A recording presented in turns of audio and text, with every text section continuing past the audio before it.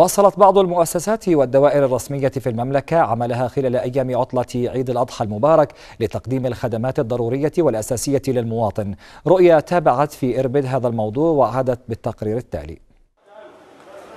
لا تنفك العديد من مؤسسات ومراكز المملكة عن مواصلة عملها في الليل والنهار آملة في تحقيق كافة سبل الراحة والأمان للمواطنين على مدار الساعة. الدفاع المدني أحد أكبر مؤسسات الدولة يقضي العاملون فيه أيام العيد وهم على رأس عملهم بعيدا عن أسرهم إلا أنهم يبدون سعادة كبيرة بما يقدمونه من خدمات إنسانية لأردننا الحبيب كانت المديرية الدفاع المدني محافظة اربد على استعداد تام لتلقي آه، أي إخبارية لتقديم الخدمة آه، للمواطنين عبر آه، الهواتف 911 وحتى الطلبات الخاصة من المباشرة من المواطنين وعلى مدار الثلاث أيام الماضية اللي هو أول يوم العيد وثاني يوم العيد وثالث يوم العيد كانت الطواقم على هبة الاستعداد.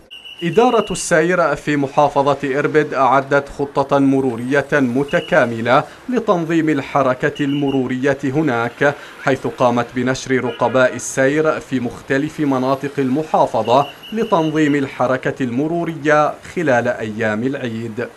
تم تطبيق خطة مرورية خلال فترة العيد وما قبل العيد وما بعد العيد حيث كان مجموعات السير متوزعة على مدار الساعة في منطقة إربد والمناطق اللي بتشهد حركة.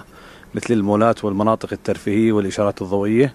والحمد لله رب العالمين لا شيء يوجب الذكر لغاية الآن ضمن منطقة إربد. كوادر وزارة الصحة تواصل عملها دون كلل أو ملل خلال عطلة العيد لضمان استمرار تقديم الخدمة الصحية لكافة المواطنين وبحس مهني وإنساني كبير. وضعت مستشفى الأميرة بسمة خطة لاستمرار تقديم العلاجات اللازمة في أيام عيد الأضحى المبارك للمواطنين الكرام. حيث راجع مستشفى الأميرة بسمة قسم الطوارئ أول يوم العيد تقريبا 600 مريض حيث قامت كوادرنا مشكورة جدا بتقديم الخدمات اللازمة والإسعافات اللازمة لهم في جميع التخصصات والأقسام حتى الوحدات. ما تقوم به هذه الكوادر مجتمعة لهو خير دليل على العطاء المستمر من أبناء الأردن الغالي الذي يسعى الجميع نحو ازدهاره ورفعته.